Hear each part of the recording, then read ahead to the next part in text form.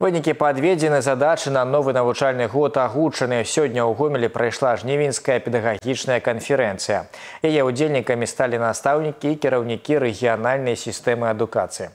Усяго каля тысячы чалавек, якія поспехі дасягнуты і на што неабходна звярнуць увагу ў бліжэйшай будучыні, даведаўся Дмітрый Котаў. Перед пачаткам афіцыйнай часткі выстава устаноў адукацыі рэгіёна. Тут і работы навучэнцаў, прысвечаныя году малой радзімы, і дэманстрацыя сучасных магчымасцяў галіны, лічбавыя тэхналогіі, развіццё творчых здольнасцяў і камп'ютарызацыя як адны са складаючых канчатковага выніку работы сферы адукацыі гомельшчыны. Школьнікі вобласці актыўна дэманструюць свае таленты ў самых розных накірунках і, што важна, дастойна прадстаўляюць рэгіён на сусветнай арэне. У мінулым навучальным годзе Ірына Ганчаренко падрыхтавала пераможцаў міжнародных міжнародных інтэлектуальных баталій у Іспаніі, Великабрытаніі і Малайзіі. Як адзначае настаўніца, галоўнае ў працы педагога бязмежны інтарэс і жаданне заўсёды ўдасканальвацца. Мой принцип никогда не ограничиваться рамками урока, то есть постоянно жить работой, жить детьми, заниматься с ними в любое время суток, отвечать на все их вопросы,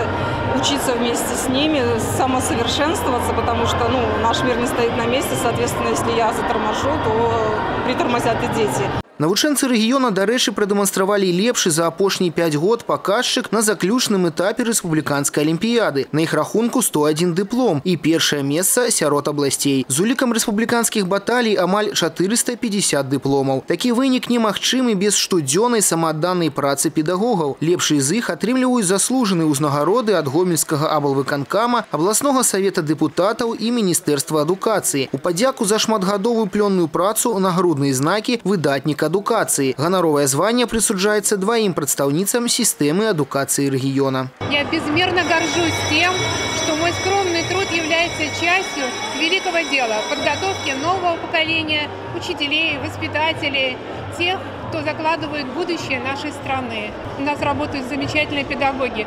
Мы называем их учителя учителей, ведь от них зависит, кто сегодня придет в школу, какие будут уроки, какой будет воспитатель, сколько любви и уважения, образования принесут они сегодня в наши учебные заведения. Тым часам на педканферэнцыі размова не толькі аб дасягненнях, але і задачах на будучыню. На галоўныя аспекты падчас выступлення звяртае ўвагу старшыня гомельскага аблвыканкама Геннадзь Салавей. Перш за ўсё гэта недахоп устаноў адукацыі крокавай даступнасці ў новых мікрараёнах. Як адзначае губернатар, праблему мясцовыя ўлады вырашаюць усімі магчымымі спосабамі. У прыватнасці будзе распаўсюджвацца вопыт будаўніцтва дзіцячых садкоў на першым паверсе новабудоўляў. Першачарговая ж задача для ўсіх супрацоўнікаў галіны стварэння стварэння бяспечных умоў для дзяцей. У Минской области 1 сентября распахнут двери 524 школы с обновленными классами, кровлями, инженерными сетями, санузлами, оборудованием для пищеблоков.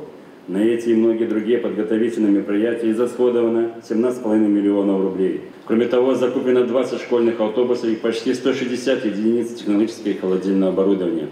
Если задача власти ремонтировать школы, строить детские площадки, открывать секции – где каждый ребенок может реализовать свое право на качественное образование, проявить творчество социальную активность, то все задача педагогов – создать в школах такую атмосферу физического и человеческого комфорта, чтобы дети шли туда с удовольствием и чувствовали себя как дома. Губернатор падкрэсліў неабходнасць працягнуць работу па ўкараненні сучасных стандартаў бяспекі. У прыватнасці размова пра сістэмы відэаназірання. На гэты год выдаткаваны сродкі на стварэнне праектна-сметнай дакументацыі для 24 школ. Важна звяртаць увагу і на школьнае харчаванне, а таксама планавыя медыцынскія агляды. Яны павінны быць неаднаразовымі, а сістэмнымі на працягу ўсяго навучальнага года. Старшыня гомельскага абалвыканкама адзначыў, што дзяцей неабходна прывучаць сачыць за сваім здароўем з ранняга ўзросту. Дмітрий Котаў, Валерый Гапанько, тэлерадыёкампанія Гомель.